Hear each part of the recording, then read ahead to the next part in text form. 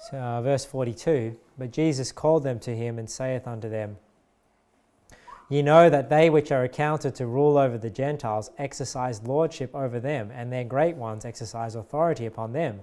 But so shall it not be among you. But whosoever will be great among you shall be your minister, and whosoever of you will be chiefest shall be servant of all. For even the Son of Man came not to be ministered unto, but to minister and to give his life a ransom for many. So we talked about provoking unto love. I mean, provoking unto part of that, part of provoking unto love and good works is, you know, provoking us unto good works. I'm just going over a couple of things that are good works. So we talked about love, but service, you know, serving one another.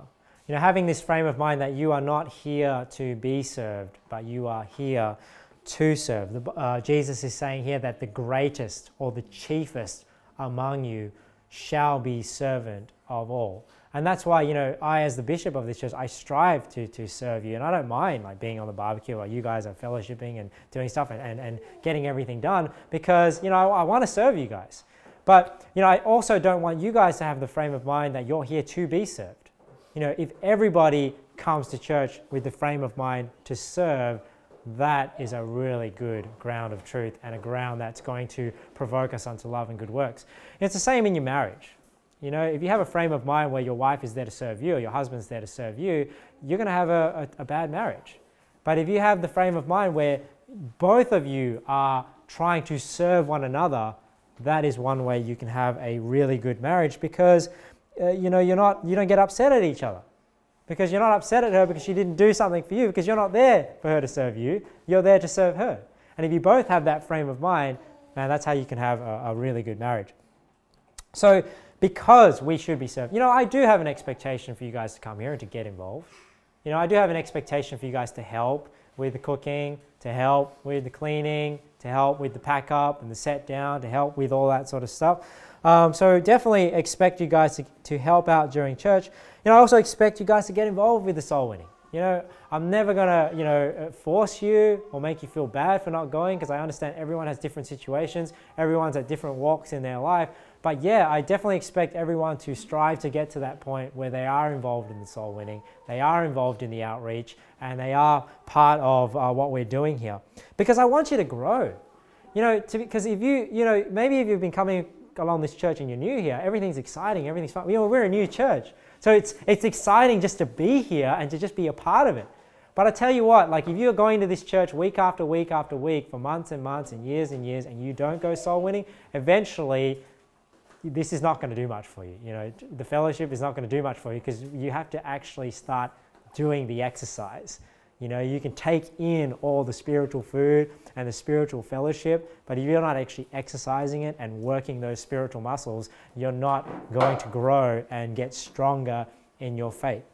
So that's that's a big reason why I want you guys to get involved in the soul winning, so that you'll grow because you learn you learn tons out soul winning, and um, yeah, there's just so many advantages that I won't go into right now. But come to church with an attitude of service, guys. You know, come here to serve. And what are some telltale, telltale signs of a person that comes to church with the attitude of being served? Well, here's a couple of things that people say. Um, I've just got two examples, but you know, you know, often people will go to church and they'll say like, "Oh, that church was not very friendly." You know, I went to that church; they weren't really friendly. They didn't invite me to this or that. They didn't like. Nobody came and said hello to me. You know, I got out of church and you know, nobody's messaging me. Nobody's texting me to see how I am. And, you know, and that's all fine. I think a church should do that. But somebody with that attitude, they're going to a church to be served. Because think about it. That's all like, what is it? This church didn't do anything for me. Like, you know, I was out of church and nobody contacted me and nobody's friendly to me. But that's not the sort of attitude we should go with to church. We should go with an attitude of, of uh, an attitude to serve. So instead of thinking nobody was friendly to me, I should be going to church saying, hey, I'm going to be friendly to somebody today. I'm going to text somebody today. I'm going to message somebody today. I'm going to have somebody over for dinner today. You know, not, oh, you know, I went to this church, nobody invited me over dinner. I'm inviting everyone else over dinner, but I haven't been invited to dinner yet. You know, so this is how you can tell. You know, do you have the attitude when you come to church of service? Or do you have the attitude of being served? You know, it's like when people, you know, you get out of church at the end and people are like, oh, the food's not even ready yet. That shows that you've got an attitude of being served instead of, hey, the food's not ready yet. What can I do to help get it ready? So you see, so you can see by what you say is showing whether you're coming with the right attitude to church or not. It's the same when people like, you know, saying hello. I guess it's the same topic. They'll say like, oh, I went to church and nobody said hello to me. That shows that people are coming to church to be served. Because if you come to church to serve, you're going to be the one trying to say hello to people, you know, and say, hey, I want to be a, I want to come to church and I want to be a blessing to somebody today, as opposed to I want to come to church and where's my blessing, right? So let's have the right frame of mind, and if we do, I think it'll provide a much better atmosphere in our church when it's a, a church of service.